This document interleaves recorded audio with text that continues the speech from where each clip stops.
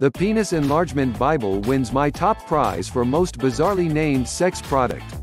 It might also win a prize for being the most complex, and potentially risky, approach to penis enlargement, as I'll be explaining in this review. When you read the contents and first few pages you realize the author, John Collins, has decided to take on a whole world of men's sexual issues, not just penis growth. There are sections on improving premature ejaculation, erectile dysfunction, ejaculation volume and penis deformities. He claims the method will improve your overall health too, even hinting that it can help you with aging. The method The method seems to consist of two core principles. First, you need to increase the number of biochemicals in your body, which promotes the natural growth similar to when you were in puberty. Secondly, there are natural stretching exercises you can do which will then directly encourage penis growth. In theory, the method sounds great. However, when you see all the different supplements you need to take, the alarm bells start ringing. In fact, he even warns that the hormones you're trying to increase can have side effects such as baldness, prostate enlargement, and premature ejaculation. You're told which supplements and food are needed to stop those problems from occurring, but it's still rather worrying and an unexpected complication. On the plus side, the penis exercise section itself is very thorough, with lots of easy to understand exercises. There are exercises for warming up and down, followed by four or five of both stretching and jelqing exercises.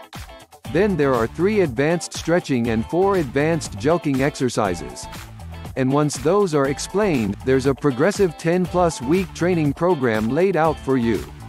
After the program, there are sections on which Chinese herbs and supplements can improve your sexual functioning.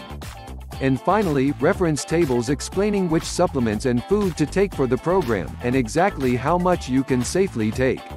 Pros If you're interested in sexual functioning supplements, it has a thorough guide to them.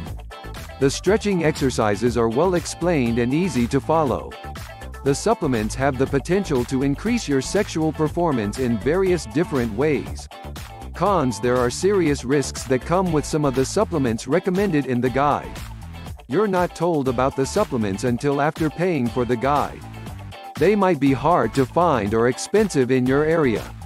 The concept of taking more supplements to negate the effects of the first round of supplements is worrying.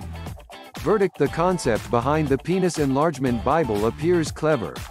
I tried some of the supplements for just a week to see what would happen, and did notice an increase in my erection strength.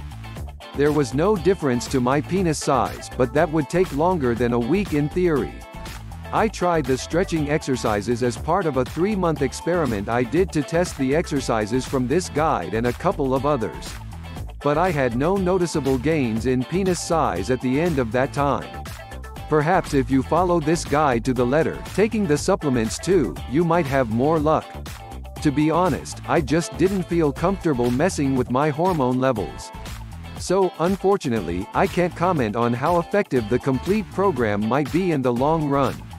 Alternatives Penis enlargement is understandably something that many men are interested in, but there's little evidence to support the effectiveness of the various suggested methods. There are, however, some simple ways to make your penis appear bigger to yourself and others.